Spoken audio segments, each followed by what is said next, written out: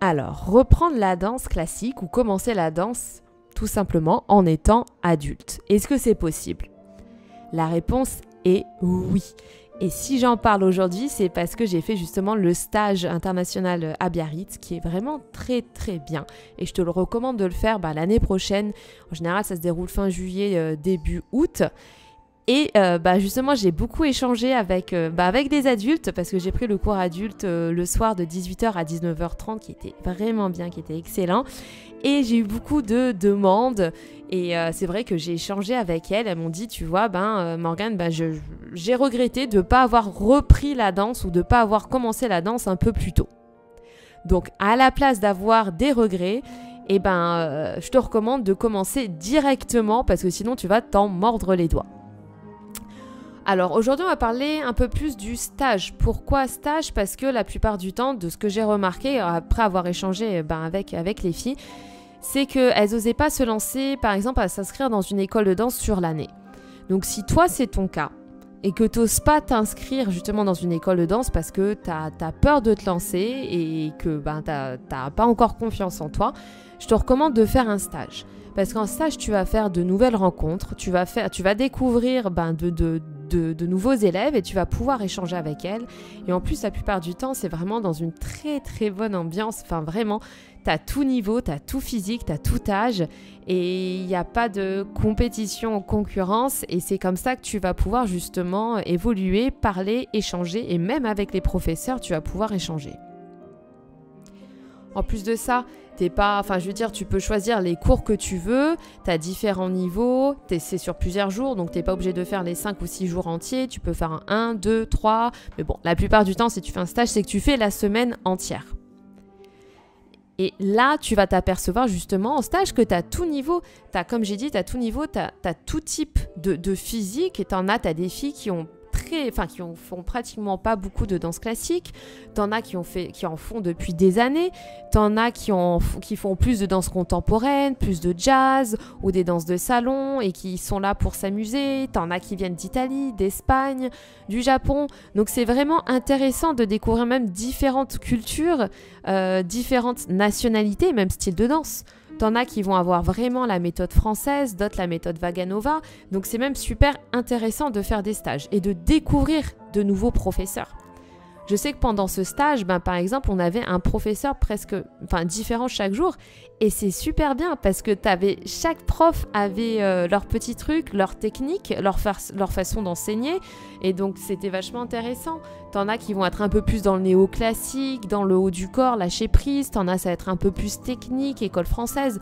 Donc, c'est comme ça que tu vas apprendre, te renseigner et pouvoir après, à la suite, te lancer.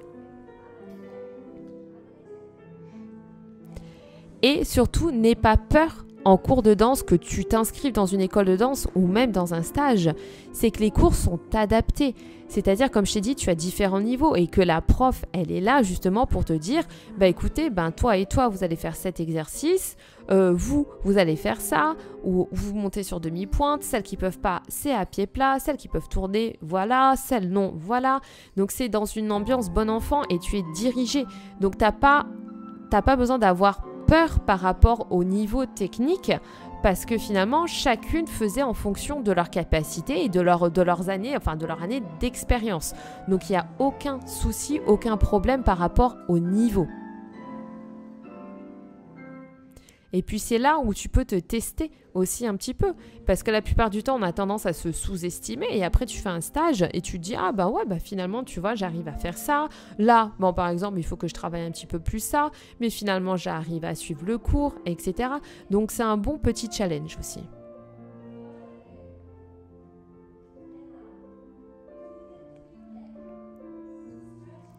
Tu vois, même par exemple pour la jambe sur la barre, enfin à la barre, il y en a qui pouvaient pas passer en arabesque parce que la barre était étroite.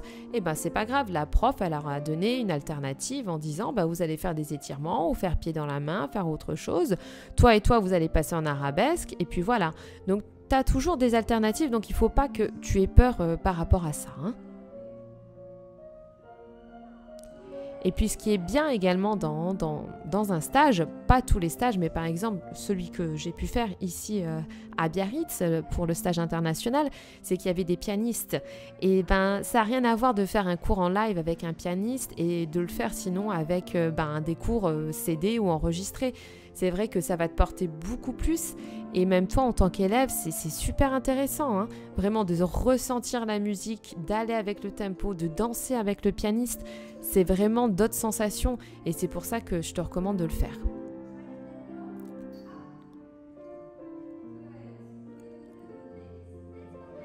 Le cours de danse était vraiment complet, on a fait vraiment la barre, on est passé au milieu, on a fait un peu tout, des dégagés, des adages, des pirouettes, des petits sauts, donc c'était vraiment dans une très bonne ambiance et c'était complet. Donc moi, je te recommande vraiment de passer à l'acte. Réfléchis moins, vas-y, lance-toi. De toute façon, qu'est-ce que tu as à perdre? Rien du tout. On n'a qu'une vie, alors fais ce que tu aimes. Et comme je t'ai dit en début de ce podcast, j'ai eu beaucoup de, filles qui m'ont dit, tu vois, ben, j'ai regretté de ne pas avoir commencé plus tôt. Bon, vaut mieux tard que jamais, mais j'aurais dû déjà me lancer il y a 5 ans ou même 10 ans en arrière, et parce que c'est quelque chose où je m'éclate et j'adore, et j'adore faire les stages, et, et voilà. Donc lance-toi. Dans tous les cas, ben, euh, je te mets en lien euh, d'infos justement le stage que je vais donner également à Biarritz du 21 au 25. On se retrouve bientôt dans une nouvelle vidéo, un nouveau podcast. Je te fais plein de gros bisous. Ciao, bye. Et surtout, éclate-toi et danse.